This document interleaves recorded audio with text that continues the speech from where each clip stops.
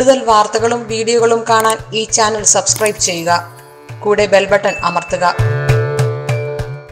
നമസ്കാരം. അശ്വതി നക്ഷത്രം ഇരുപത്തിയേഴ് നക്ഷത്രത്തിൽപ്പെട്ട മേടക്കൂറിൽപ്പെട്ട ഓരോ നക്ഷത്രക്കാർക്കും ഉണ്ടാകുന്ന ഗുണഗണ ഫലങ്ങളും ഗുണദോഷ സമ്മിശ്ര ഫലങ്ങളുമാണ് നമ്മൾ ഇനി നോക്കുന്നത്. ഇവിടെ ശനിയുടെയും വ്യാഴത്തിന്റെയും ഒക്കെ മാറ്റം സംഭവിക്കുന്നുണ്ട്. അതുകൂടാതെ ഈ ഒരു വർഷക്കാലത്തെ വിഷുഫലം അനുസരിച്ച് ഓരോ നക്ഷത്രക്കാർക്കും എങ്ങനെയാണ് എന്നുകൂടി നമുക്ക് നോക്കാം. അതിൽ ആദ്യത്തെ നക്ഷത്രമായ ഇരുപത്തിയേഴ് നക്ഷത്രത്തിൽ ആദ്യത്തെ നക്ഷത്രമായ അശ്വതി നക്ഷത്രം.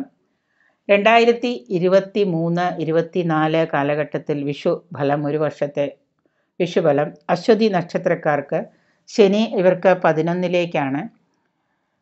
ഈ വിഷുഫലം നോക്കുമ്പോൾ അശ്വതി നക്ഷത്രക്കാർക്ക് പൊതുവെ ഗുണദോഷ സമ്മിശ്ര ഫലം എന്ന് മാത്രമേ നമുക്ക് പറയാൻ സാധിക്കുകയുള്ളൂ. എങ്കിലും അതിലെ ഗുണാധിക്യം കൂടിയിരിക്കുന്ന ഒരു കാലഘട്ടം തന്നെയായിരിക്കും ഈ വിഷുഫലം കൊണ്ട്. കാലം ഇവർക്ക് അനുകൂലമാണ് എങ്കിലും എപ്പോഴും മനസ്സ് അസ്വസ്ഥമായി കൊണ്ടിരിക്കുന്ന ഒരു കാലയളവാണ്.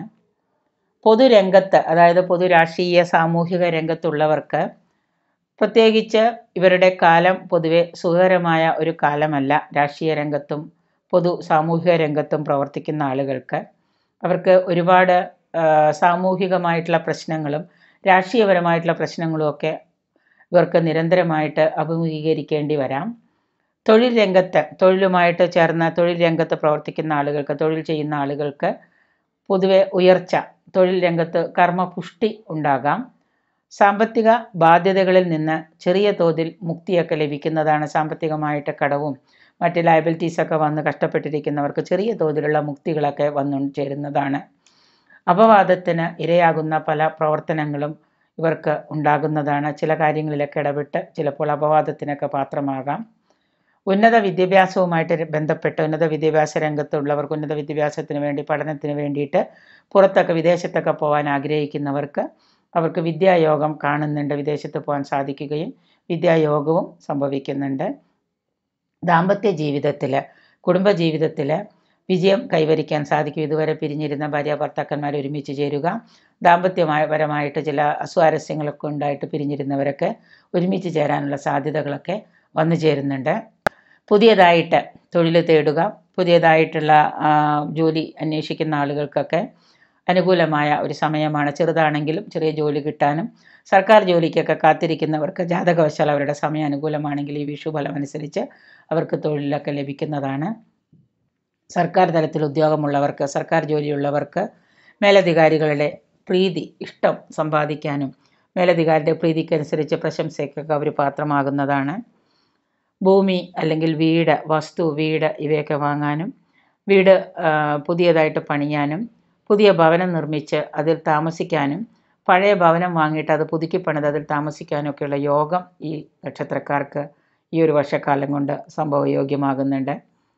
പുതിയ വസ്തുവിൽ പുതിയ വീട് പണി തുടങ്ങാനും സാധിക്കുന്നതാണ്. ക്രയ വിക്രയങ്ങൾ കൊടുക്കലുകൾ വാങ്ങലുകൾ അതായത് വസ്തു വാങ്ങലായാലും കൊടുക്കലായാലും സാമ്പത്തിക കാര്യങ്ങൾ കൊടുക്കൽ വാങ്ങലുകളിലൊക്കെ ഇവർക്ക് നഷ്ടം സംഭവിക്കുന്ന ഒരു കാലയളവും കൂടിയാണ്. വസ്തു വിൽക്കുന്നവർക്ക് നഷ്ടം സംഭവിക്കാം. വസ്തു വാങ്ങുന്നവർക്കും അവർ ഉദ്ദേശിച്ച വിലയേക്കാൾ കൂടുതൽ കൊടുത്ത് വാങ്ങേണ്ടതായിട്ട് വരാം. സാമ്പത്തിക മാർക്കിങ്ങിന് കടം കൊടുക്കുകയോ മറ്റോ ഉണ്ടെങ്കിൽ അത് ചിലപ്പോൾ നമുക്ക് സമയത്ത് ലഭിച്ചു എന്ന് വരുന്നതല്ല. വിദേശത്ത് ജോലി ശ്രമിക്കുന്ന ആളുകൾക്ക് വിദേശത്ത് പുതിയതായിട്ട് ജോലിക്ക് പോകാനൊക്കെ ശ്രമിക്കുന്നവർക്ക് ഇതുവരെയൊക്കെ കാര്യങ്ങൾ നടക്കാതിരുന്നവർക്ക് ചിലപ്പോൾ ആ തടസ്സങ്ങളൊക്കെ മാറി. അവർക്ക് പുതിയതായിട്ട് പോകാൻ ശ്രമിക്കുകയും വിദേശത്ത് വസിക്കുന്ന ആളുകൾക്ക് വിദേശത്ത് തന്നെ ജോലി നഷ്ടപ്പെട്ടിട്ട് അവിടെ തന്നെ ഒരുവിധമൊക്കെ പിടിച്ചു നിൽക്കുന്ന ആളുകൾക്ക് പുതിയൊരു ജോലിയിലൊക്കെ തേടി മാറി പുതിയ ജോലിയിലേക്ക് മാറാനൊക്കെയുള്ള അവസരങ്ങൾ ഈ സമയത്ത് ഈ ഒരു വിഷുബലം കൊണ്ട് സാധിക്കുന്നുണ്ട്. പ്രതിസന്ധികളെ ധാരാളം പ്രതിസന്ധികളെയൊക്കെ തരണം ചെയ്ത് പുതിയൊരു തലത്തിലേക്ക് പുതിയൊരു രംഗത്ത് എത്തിച്ചേരാൻ കഴിയുന്ന ഒരു കാലഘട്ടം തന്നെയാണ് കുടുംബ ബന്ധങ്ങളിൽ ഉണ്ടായിരുന്ന അകൽച്ചകളൊക്കെ മാറി. മാതാപിതാക്കൾ തമ്മിലോ ജീവിത പങ്കാളികൾ തമ്മിലോ ഒക്കെ ഉണ്ടായിരുന്ന അകൽച്ചകളൊക്കെ മാറി. അതിൽ നിന്ന് പുതിയ ഒരു ഉണർവും ഉന്മേഷവും കുടുംബത്തിൽ ഐശ്വര്യവും സമാധാനവും ഒക്കെ വന്നു ചേരുന്നതാണ്. കർമ്മരംഗത്ത് നിന്ന് കർമ്മരംഗത്ത് പ്രവർത്തിക്കുന്ന ആളുകൾക്ക് തൊഴിൽപരമായിട്ടാണെങ്കിലും വ്യാപാര വ്യവസായ വാണിജ്യ രംഗത്ത് പ്രവർത്തിക്കുന്നവർക്കാണെങ്കിലും ധനലാഭം ഉണ്ടാകുന്ന ഒരു കാലയളവ് കൂടിയാണ് ഈ ഒരു സമയം.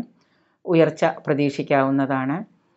രോഗങ്ങളിൽ നിന്ന് ചികിത്സ തേടുന്ന ആളുകൾക്ക് രോഗങ്ങൾ അതി മ- പരമായിട്ട് ച- അതീവപരമായിട്ട് രോഗങ്ങളൊക്കെ ഉള്ള ആളുകൾക്ക് ചി വിദഗ്ധ ചികിത്സയ്ക്കൊക്കെ പാത്രമാവാനും വിദഗ്ധ ചികിത്സ കൊണ്ട് രോഗവിമുക്തി ലഭിക്കാനും ഒക്കെയുള്ള ഒരു യോഗവും കൂടി വന്നു ചേരുന്നുണ്ട്. കരൾ സംബന്ധമായിട്ടും ഹൃദയ സംബന്ധമായിട്ടും ഒക്കെ രോഗങ്ങൾക്ക് ചികിത്സ തേടിയിരുന്ന ആളുകൾക്ക് ഒരു രോഗമുക്തി ലഭിക്കുന്ന ഒരു കാലയളവ് കൂടിയാണ് ഈ ഒരു വർഷക്കാലം.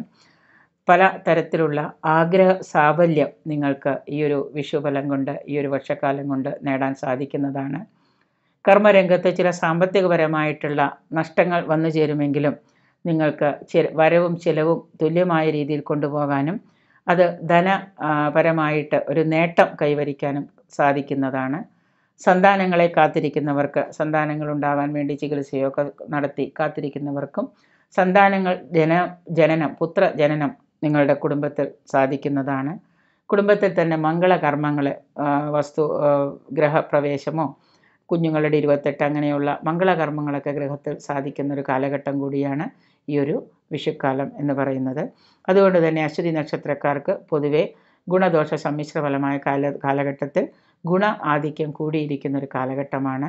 ദോഷശാന്തിക്കായിട്ട് ദോഷഫലങ്ങൾ മാറുന്നതിനായിട്ട് ദോഷശാന്തിക്കായിട്ട് നിങ്ങൾ വിഷുവിന്റെ അന്നേ ദിവസം തന്നെ ശിവപ്രീതി നേടേണ്ടതും പ്രത്യേകിച്ച് ശിവഭഗവാന് ധാര അതുപോലെയുള്ള വഴിപാടുകളൊക്കെ കഴിച്ച് കൂവളമാല അർച്ചന ഇങ്ങനെയുള്ള വഴിപാടുകളൊക്കെ കഴിക്കുന്നതും ഓം നമ ശിവായ എന്ന മന്ത്രം നിങ്ങൾ ശിവ പഞ്ചാക്ഷരി മന്ത്രം നൂറ്റിയെട്ട് ഒരു എല്ലാ ദിവസവും ജപിക്കുന്നതും കൂടുതൽ ദോഷഫലങ്ങൾ മാറുന്നതിന് നല്ലതാണ്.